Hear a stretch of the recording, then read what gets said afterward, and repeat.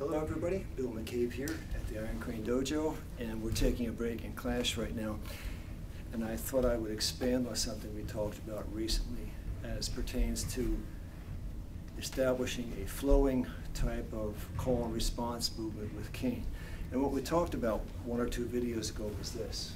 Terry's going to assist. Uh, Terry's over here and she attacks and this is the flow drill she attacks, I block, counter, block, counter, block, counter, block, counter, block, counter, block, counter. Okay. Now we explained that in detail uh, in a previous video, and then I had a couple of responses uh, about whether that could be expanded to other types of movement. And, the answer is yes, but I need to tell you something that most of the people who do the flow drill rarely go beyond that 10-step sequence that you saw there. Okay, so uh, a lot of people are satisfied using just that uh, as a foundation for their instinctive response for their entire martial arts lives. Uh, but in fact, whenever you have a two-person drill uh, that's practiced one way, you can always practice the opposite way. So for example, we're here, each of us holding a stick in our right hand. Okay, so we can immediately switch and the Terry will go over here. We'll get the opposite side. So now the sticks are in our left hand. And she comes over the top, there's the block. The counter, strike, over, top, side, back,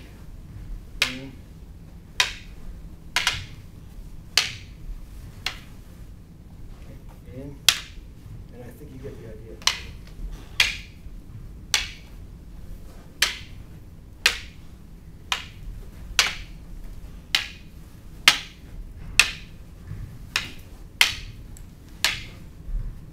You can vary it, of course, if you want. So that's the left or opposing side. Now, in my own practice, I generally try to develop everything on the left side to be the near equivalent of everything on the right side. So I can do most everything both ways. A lot of people that I work with cannot, so uh, I don't always have the opportunity to work that way with others. But with my senior students, I certainly do. Now, whenever you have a two-part exercise that's oriented one way, stick in right hands. You can orient it the opposing way, stick in left hands. Then you can orient the cross paths. So what I'm saying there is whenever you have an exercise uh, where the, each person is mirroring the other, there are four permutations of that exercise. And you just need to remember that as a rule so that when you're working on an exercise, where you're uh, doing the same thing as your partner, there are four ways to vary that and for you to explore different possibilities of movement. So here, uh, the next uh, permutation of this, this will be uh, number three, would be if Terry puts her stick in her left hand and I hold my stick in my right hand and she does the overhead attack. Now she's doing basically the same attacks, and I'm doing basically the same responses, but it changes the layout of the form.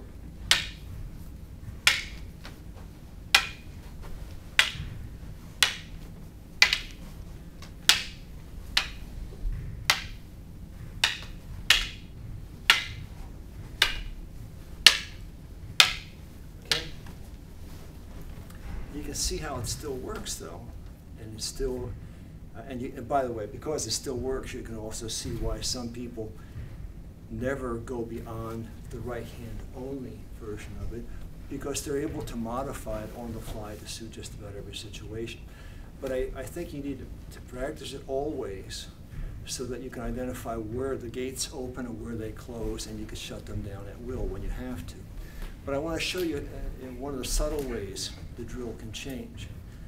Uh, and, and, that you, you might want to explore uh, conceptually, just so you have an idea of how things can change on the fly and how you have to modify your own response to do what is correct to protect your uh, self-defense capacity.